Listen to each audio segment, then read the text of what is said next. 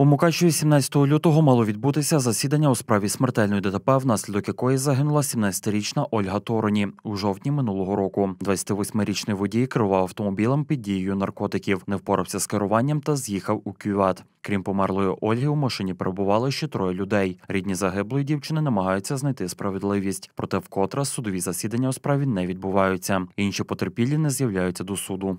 Також до нас не з'явилися потерпіла неповнолітня Торон е, Кнаус Інна Васильівна і її законний представник Кнаус Тетяна Сергіївна.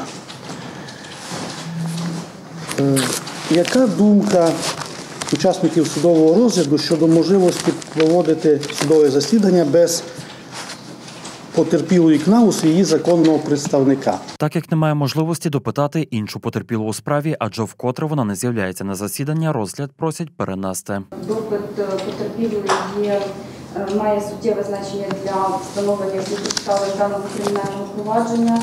Тому сторона обвинувачення відповідно до статті 325 просить перенести судове розслід- е, судовий розгляд даного кримінального провадження на іншу дату.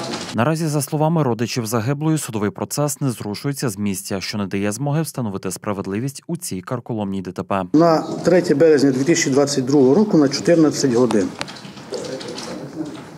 Судове засідання оголошується закритим.